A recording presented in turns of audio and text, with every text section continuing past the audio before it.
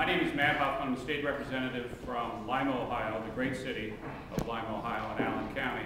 And I want to thank everybody for coming here today. Uh, this is, um, I, I, know we, uh, press conferences are not in short supply in Columbus, Ohio. And uh, this is my fifth year here, my first press conference. So I want you to know I take, I take all of your time, especially the press and the other folks who came here. I take your time seriously. And I'm doing this because um, we're going to be introducing what I think are, is going to be significant legislation in terms of uh, changing our educational system uh, in a significant, meaningful way for both taxpayers and parents and students. Uh, and rather than introduce a bill and, and have everyone uh, chase after us as to what that means, I thought we'd start off by explaining what it means and then uh, we're going to be introducing the, the bill shortly, uh, as soon as uh, next Tuesday or Wednesday of next week. Um, what I want to do today, uh, and we'll try to move through this swiftly, is I'm going to give you a brief uh, overview of what the legislation is, the, the not the details, because that would take a long time, but the framework of that. And then I've asked a couple of representatives to make some comments, and then we have the most important people here, parents, uh, to talk a little bit about uh, school choice and, and, what it's meant for them and uh, why it's important. Um, and again, I'll start off with the framework. Right now, as, as you'll know, we have the Cleveland and the Choice scholarship programs. Uh, they have different uh, elements to those, and, and uh, those I think have been very helpful to both the state financially and the parents and students. We're going to combine those programs, and we're going to have one statewide voucher program. Um, that, that's the first significant element. The second uh, significant element is there is going to be no cap or limit on the number of, of vouchers in the state of Ohio. Uh, obviously, that's an issue right now with EdChoice Scholarship, and um, we don't want uh, an artificial cap to be in the way of uh, allowing this program to be successful.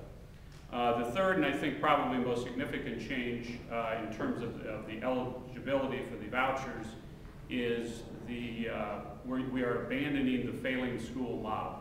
Um, there, and there's a number of reasons for that. I think the most significant thing about this is I, I think it's, it's really divisive for the educational community in Ohioans to talk about this school district uh, not doing well or uh, failing schools or the teachers aren't doing well.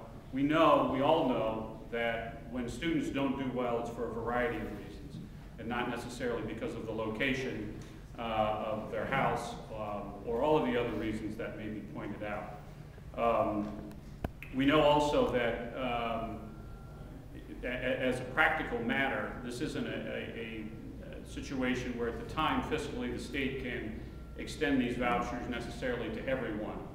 Um, and, and, so the, the artificial restriction, if you will, right now, um, is that it's going to be restricted based on income. Now, the, uh, what, what really comes down to is there are many people who have, because of their financial means, can choose to go to whatever school they want to. Uh, they can choose to move wherever they want to, and many can't.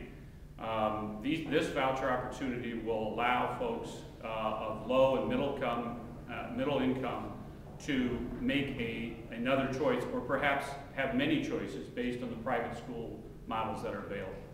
Um, and I know one of the answers or one of the questions that you're going to have right now is, well, what's the number? And we're working on that, but um, our, our, first working number right now is that a family of four uh, that is making less than uh, $60,000 is going to qualify for this voucher.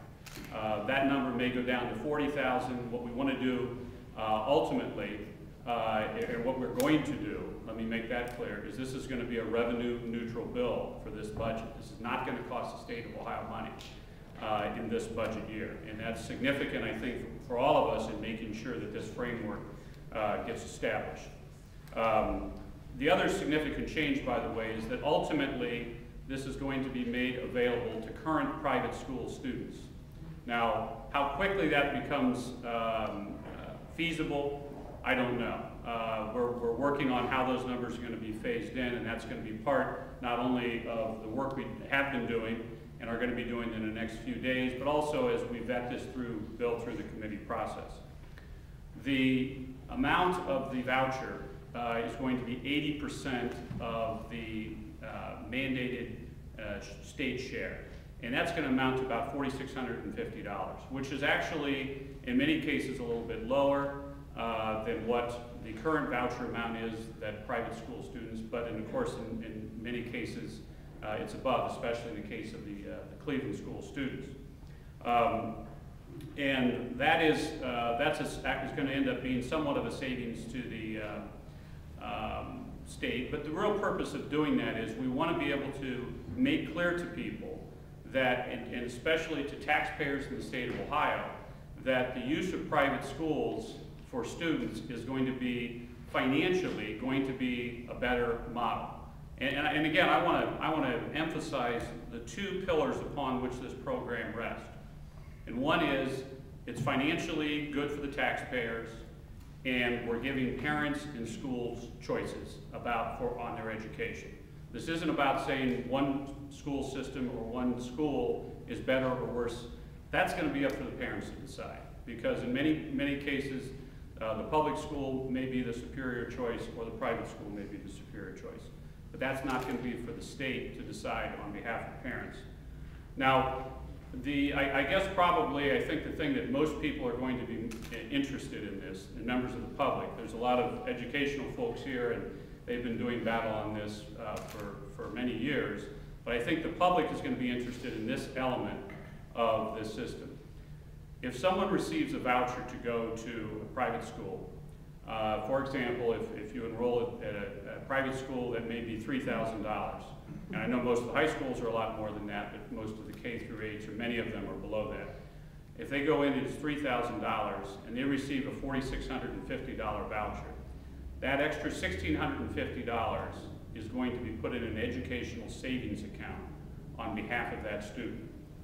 And that student is going to have that account in their name, and through the years, if they're able to save money by um, year to year, uh, that money will accumulate, and ultimately that student and parent can use that money uh, not only for high school, uh, which may be more expensive, but ultimately for uh, post-secondary education at an Ohio institution. Uh, it's going to be Ohio College, university, uh, secondary, post-secondary type training of that person's choice. Uh, this is a good way to keep kids and, and uh, students here inside the state of Ohio.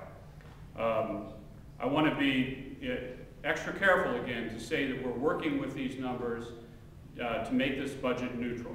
Um, and we, we've been fortunate enough to have Bill Kipe, KEIP, uh, who some of you may recognize that name. He was the budget director under uh, Governor Rhodes. We've been working with him uh, and his knowledge of uh, not only the budget but the educational system in order to um, to make this a, a, a uh, again a budget neutral event. I, I, don't want to discount the fact that we also are going to be including the special ed vouchers, which were nearly passed couple of years ago. Senate Bill 6. And that also is included as part of this because again, that's an additional savings to the state. It's, it's, it's, it's, it's a good thing for the taxpayers, but it's also a good thing for the parents of, of those folks uh, who would use those special education vouchers. Um, and and I, I'm, I'm, it's not, I'm not only, I'm not talking about that for a short period because it's not important, but I think um, that's better known to most of you and to most of the public. Um, we have a, a, few people here to speak today, and I don't know if Senator Faber is uh, willing to come up and say a few words, but I know he's a busy guy, and uh, if, he's, if he's able to come up and say a few words on this uh, subject, I'd love to have him. Senator Faber.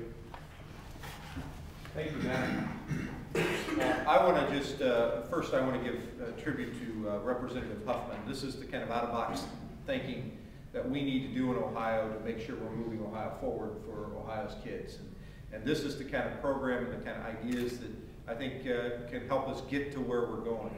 Um, as, as, Americans are fond of choice, uh, you have the remote and all the channels we get to pick. Surely American parents can make good choices for their kids and where their kids go to school. And this heads us down that road. It helps us uh, give moms and dads the ability to help make those choices that are going to empower uh, their children's future. And so for that reason, I am proud to be a sponsor of this bill in the Senate, and will work closely with the House sponsor and one of the chief draftmen, Matt. Thanks, Keith. Thanks for coming by today. I appreciate you, Skip. Um, the, um, and, you know, Keith's a good friend of mine, and, and as a leader in the Senate, very fortunate for him to have, uh, his support, although I don't think, uh, given his, his background, uh, that was a, a very, very long putt. Uh, so it's great to have him here. Um, we have, I have a lot of friends up here today, and, and I'd like to have all of them speak, and, uh, it's often said in the State House that everything's been said, but not everyone has said it, but we can't do that today, guys. Um, but I did ask a couple of folks uh, to speak, one on, on um, our side of the aisle and, and one on the Democrat side of the aisle. Uh, Bill Patmon is here from Cleveland. Bill, if you would come up. And uh, Bill's uh, very interested in this issue and, and wanted to talk a little bit about how this has affected his district. I want to thank uh, Representative Huffman and folks from the other side of the aisle because it was a unique uh, opportunity for me to be inside the room helping to fashion policy rather than outside watching policy be fashioned. So I want to thank you for that opportunity. Now, for me, uh, we have an educational emergency in Cleveland. Uh, it's a tragedy. 70% of our schools are not performing. Parents are using whatever methods, like down in Akron, and I'm sure you're all aware to figure out a way how to educate their children. In this case, it's another tool in the toolbox. It's not an us versus them. It's at the end of the day about children. And for me, uh, that was a unique opportunity, and I'm going to take full advantage of it. So you will hear a lot about uh, my ideas on this legislation as we move forward. Thank you. Thanks, Bill. Appreciate that. Thank you. Um, and I also have uh, Tina Roegner from uh, Akron, uh, would also like to uh, illuminate. Thank you. Uh, I'm Representative Kristina Roegner, and I'm from Hudson, Ohio.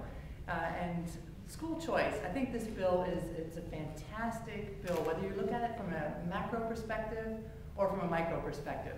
Uh, looking at the macro perspective, what we're doing is we're introducing competition.